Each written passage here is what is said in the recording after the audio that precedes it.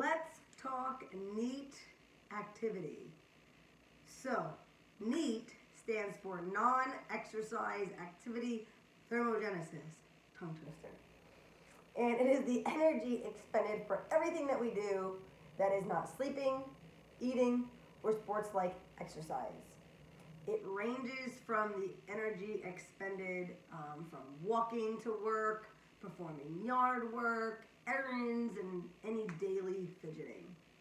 So our jobs and careers tend to impact our levels of NEAT generally, um, greatly as well. So occupational NEAT is the activity thermogenesis resulting from our work. So nurses, uh, waiters or waitresses, construction workers, personal trainers, for example, are really anyone you know that's working in an occupation that requires you to be on your feet all day moving about or engaging in any physical activity would have a lot um, a higher level of NEAT than someone who is maybe sitting at a desk all day so the difference in energy expenditure between active and sedentary jobs can run into a difference of hundreds and hundreds of calories um, in terms of their NEAT activity level. So there are certainly ways to increase NEAT even when you're working in a sedentary occupation. So you can do so by working in some NEAT activity throughout the workday or upping your leisure NEAT. So the difference is all about how you choose to spend your spare time but unfortunately, most of us don't try to do so, and it's common for us to completely overlook NEAT, which is the non-exercise activity thermogenesis.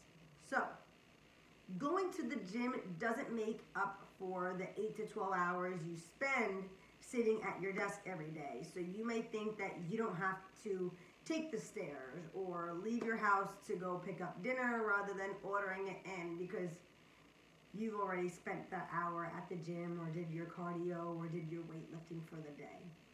So you probably don't realize that the calories burned with the accumulation of all of those small activities would significantly outdo the calories you burned on the treadmill.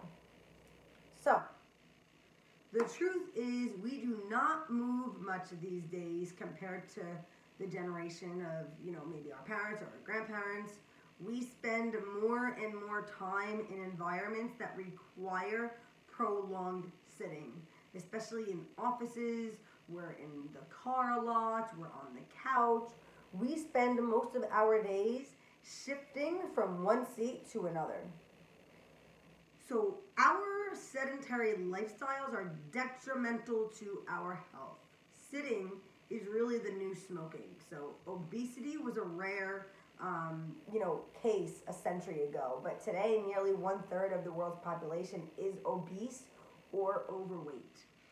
So the workplace can be the biggest culprit because minor manual tasks that used to be routine in sedentary occupations now require no physical effort due to uh, computerization and mechanics. Uh, what were once considered sedentary jobs are now even more so we don't walk over to our colleagues to relay a message. We shoot them a text or an email. We don't have to manually punch holes anymore. There's just machines that do it for us. Um, we can get through an entire workday expending hardly any energy at all. So when you look at the advances in transportation, that's also brought out the lazy in all of us because walking has almost become obsolete. So why walk when Uber can conveniently scoop you up and deliver you right to your destination. And why go pick up your food and go to a restaurant when you could just call Uber Eats and they'll do everything for you these days. So that's really uh, the problem that we all face. And we live in the time, in a time where one click of a button and we can get anything at our fingertips. So you will struggle, struggle um, to really out exercise a sedentary lifestyle, no matter how many times a week you make it to the gym, it will not make up for being seated for the remainder of your waking hours. So here's the, the problem that we run into because focusing solely on the energy you use while exercising is one of the biggest fat loss mistakes you can make. Exercise will never make up for the energy you could be using living an active lifestyle. You want to effectively burn fat, you need to move. So, when you're making healthier choices, ensuring you're active throughout the day becomes that much more important.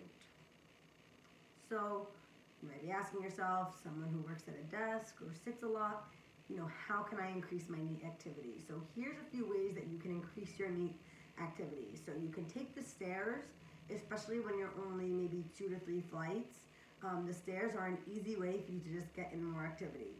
Um, you can get a standing desk. If you have a job where maybe majority of the time you have to sit, then get a standing desk so you can do both. You can stand, you can sit. Um, so it gives you more option. You know, even just standing burns more than just sitting. You can break up your day with, you know, short walks or short trips. 10 minute strolls throughout the day go a long way, especially if you could only take a 10 minute break. You could walk on your lunch break um, especially if you have an hour. It doesn't take you an hour to eat. Um, you can start doing your own chores, do the lawn, the garden, laundry, um, you know, cleaning and, you know, heavy cleaning and dusting. And, you know, if you have an animal, you have a dog, make the dog happy and take it for daily walks. Um, that's actually my favorite way to do it. Um, you could park further from the door. You can do your emails and your texts during a walk. You can even maybe watch a show you want to catch up on on your phone during a walk. I love doing that as well. Um, skip the drive through and get out of the car and go get it yourself. Uh, put a timer on your phone every hour to remind you to get up and move, even if it's just for five, you know, steps or five push-ups or five jumping jacks. It's still movement. So a rule of thumb when trying to live an active and healthy lifestyle and to get out of the sedentary lifestyle you always want to shoot for 10K steps per day, whether it's a day with or without a workout. 10,000 steps is your lucky number. And just to give you an idea, even if you incorporated a 30 minute walk per day, that will get you pretty in pretty good range for 10,000 steps. So I gave you a ton of reasons and um, a ton of suggestions on how to incorporate your NEAT activity.